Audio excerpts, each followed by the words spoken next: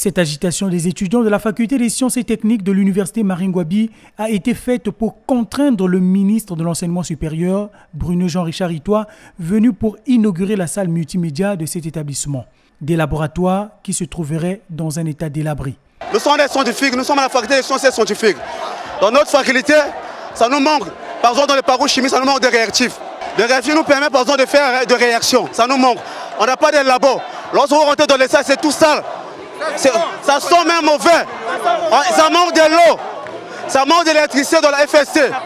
Mais aujourd'hui, Monsieur le ministre est venu, étant que le premier étudiant, pour monter le, projet fossé. Mais c'est à chaque fois avec nous les scientifiques. On ne comprend pas une grande université comme la FSC, vraiment, il n'y a rien de bon ici. Les gens arrivent ici, mais il y a. Donc, il faut visiter les labos. Les labos sont vraiment sales. En plus, l'électricité, il n'y a pas vraiment, la formation n'est pas vraiment qualifiée ici.